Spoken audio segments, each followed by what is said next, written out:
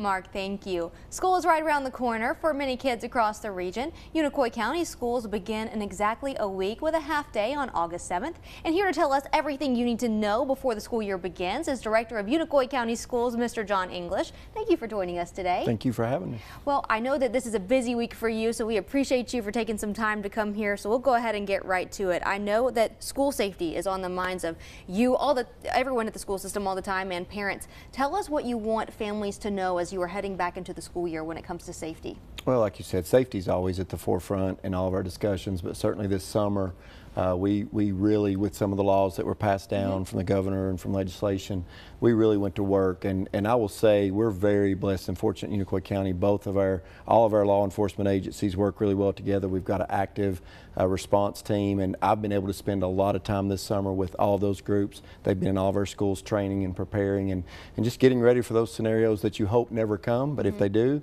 you want to make sure we've got good plans and good people. And, and, and I just would want our families to know there's been a lot of work, a lot of thought, a lot of planning to go into making sure our kids are safe. And let's talk a little bit about what happens when it comes to checking in and how many SROs you're going to have facilitating uh, in the schools. Well, we've again, we've always been really fortunate. Our, our, our commission, our, our, our, police forces have always made sure we had an SRO in every school. Awesome. That will certainly continue, but this year there will be additional staff in and out, and there's been a commitment made uh, to have a lot of times multiple officers there and so that that's a relief you know just mm -hmm. to know mm-hmm. there's not just one. So there's just a lot of um, effort and planning that's gone into making sure that people's schedules allow for for most of the time there to be multiple people on site. And so that that's that's a change. We've always had at least one but we'll have more than one a lot of times this year. And I know that we're going to go ahead and switch some gears now. I know that another topic on everyone's mind is the third grade retention law and how it impacted you not only last school year but what it's going to look like this year. Let's talk a little bit about what your TCAP numbers were and what what that means for the school year.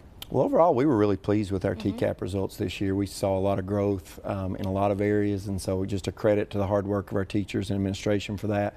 Third grade retention promotion specifically impacted us. Like for this coming school year, 99% of last year's third graders are going on to fourth grade. Okay. So either through appeals or summer learning or tutoring.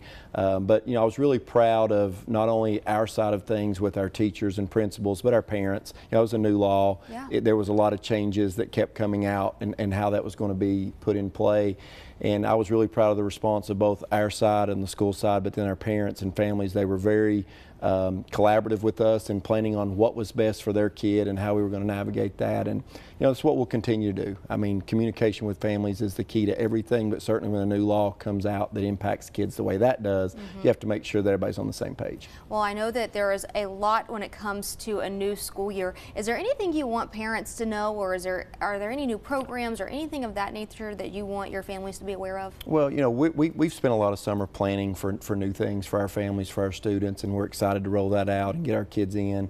Um, you know, we're in the kid business, so we have to have students in our buildings, and so we're excited to get them back. I would just encourage our families to, to communicate with us. You know, this is a partnership that we value. You know, they entrust their kids with us, their education with us, and so we just encourage them to keep that line of communication open throughout the year. If they have questions or concerns or there's something that's going on that we need to know about, again, we've got to work together to make sure that, that we provide our kids the best education possible in the safest environment possible. And, and it's, it's a collaborative effort that we take a lot of pride in. So we encourage them to reach out to us. Absolutely. Well, again, happy last week of summer and congratulations on another school year. Thank you for coming here on First at 4.